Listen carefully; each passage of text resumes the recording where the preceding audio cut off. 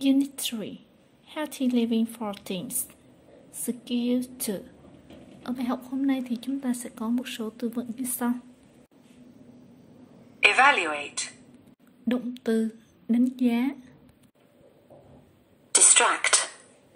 Động từ làm sao nhãn, làm sao lãng Sign out. Đăng xuất Loss.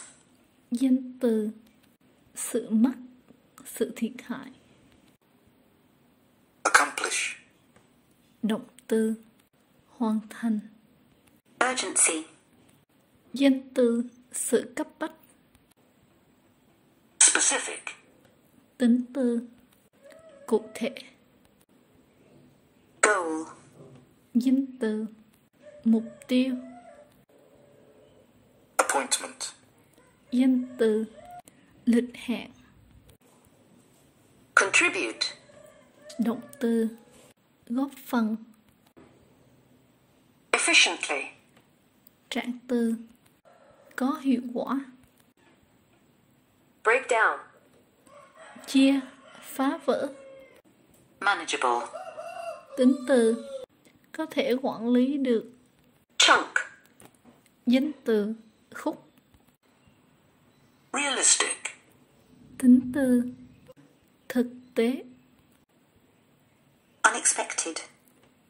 Tính từ Đột xuất Không mong đợi Essential. Tính từ Cần thiết Thiết yếu necessary, Tính từ Cần thiết Eliminate. Động từ Loại bỏ Take a broad view. Có cái nhìn bao quát minimize, Động từ Giảm thiểu Take attention away from. Mất tập trung To meet the due dates. Hoa hoàn thành đúng hạn Due.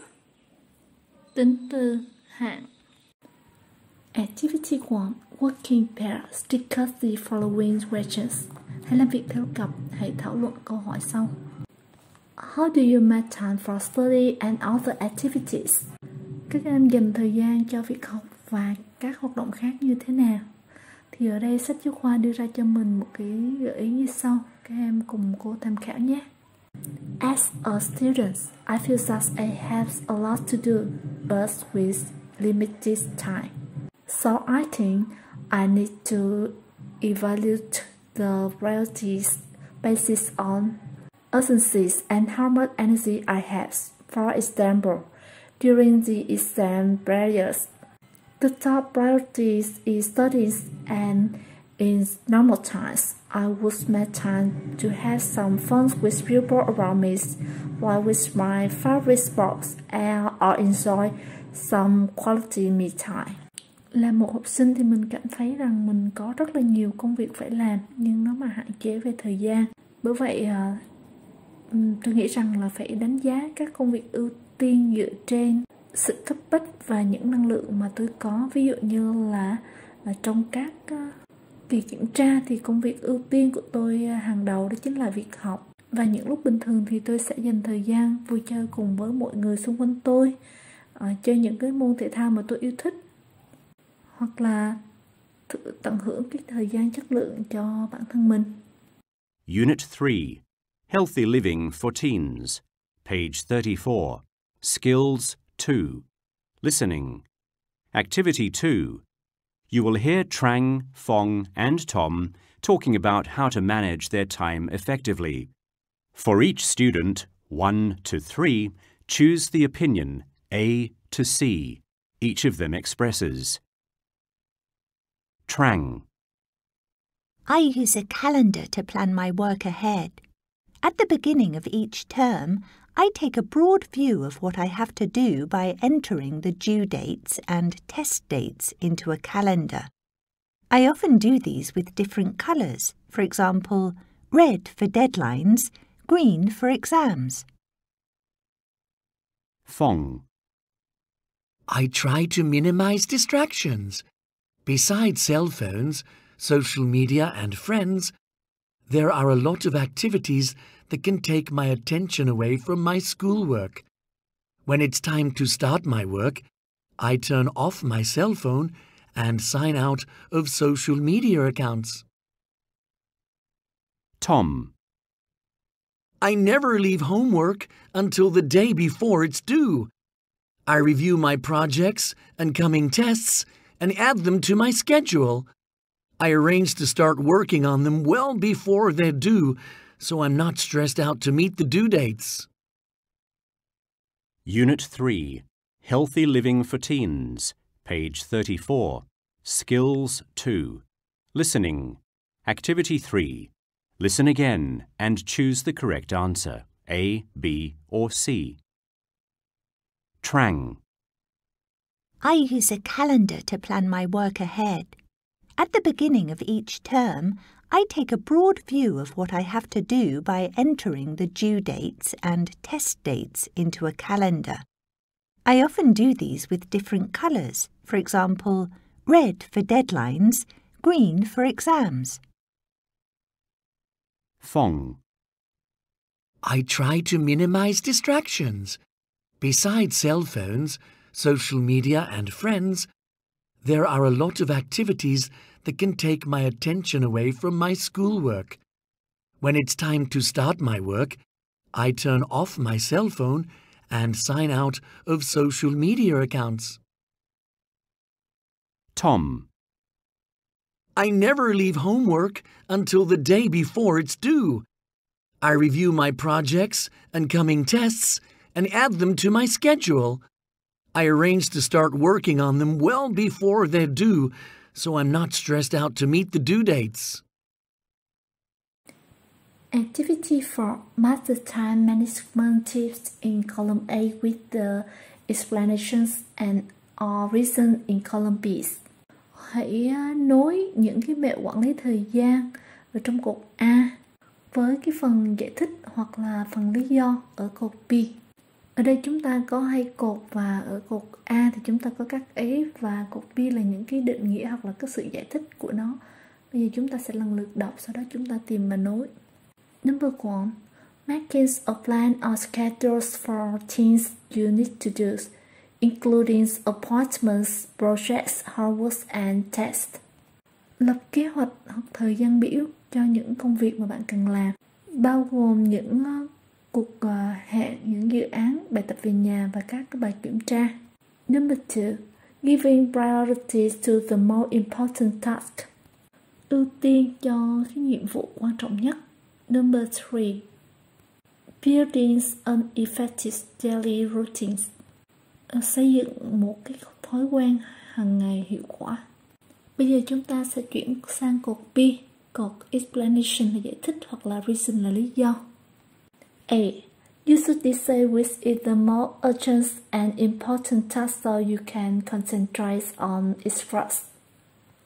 By doing this, you might not be as a loss to deal with too much work at the same time.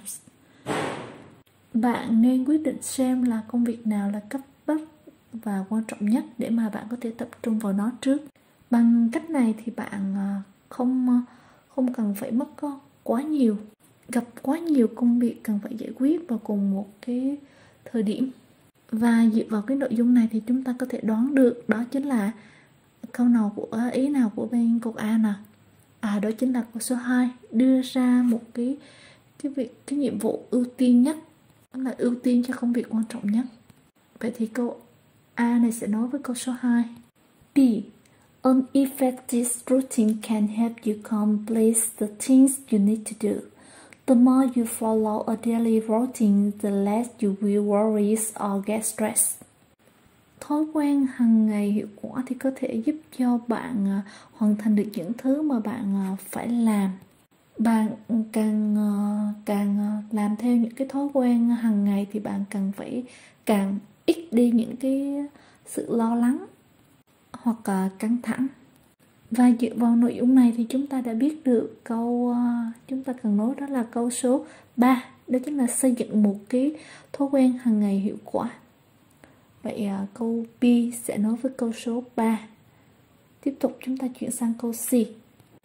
You can plan your work ahead by using a calendar or diaries or a mobile phone apps. It helps you remember what you need to accomplish and when you should do it.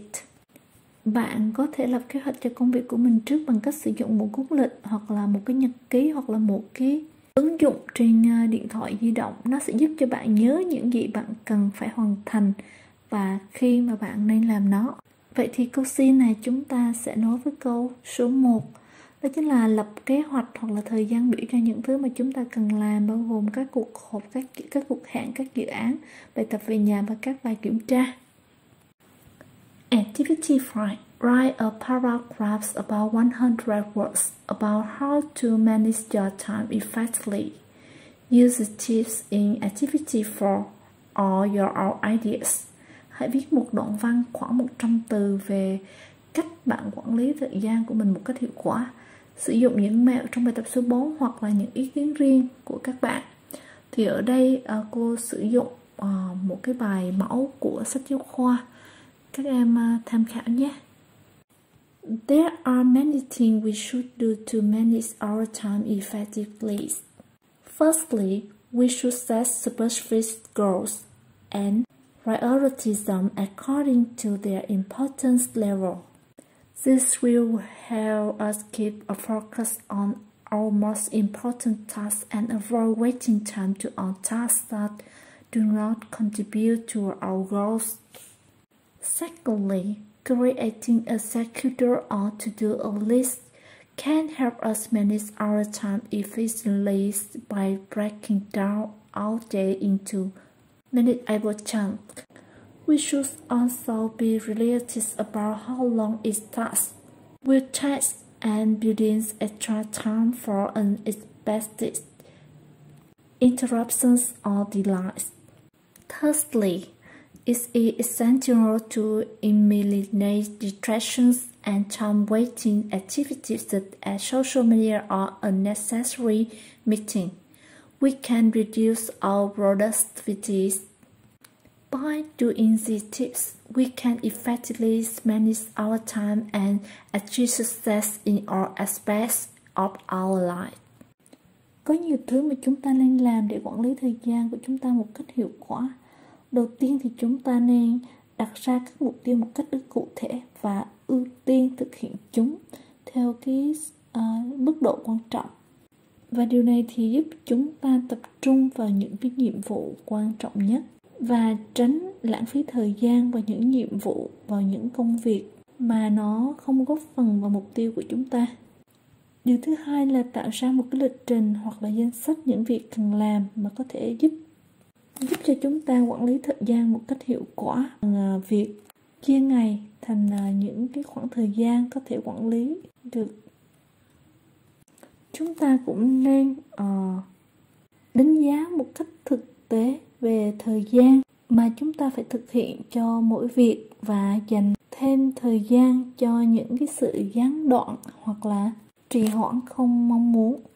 Và điều thứ ba là rất cần thiết để loại bỏ những cái hoạt động làm mà mất thời gian hoặc là gây sâu nhãn ví dụ như là mạng xã hội hoặc là những cái cuộc gặp gỡ không cần thiết. Cái mà nó có thể làm giảm cái hiệu suất công việc của chúng ta bằng việc thực hiện những cái mẹo này thì chúng ta có thể quản lý thời gian của mình à, hiệu quả và đạt được những thành công trong mọi khía cạnh của cuộc sống của chúng ta. Bài học hôm nay của chúng ta đến đây là kết thúc. Xin chào và hẹn gặp lại các em ở những video khác.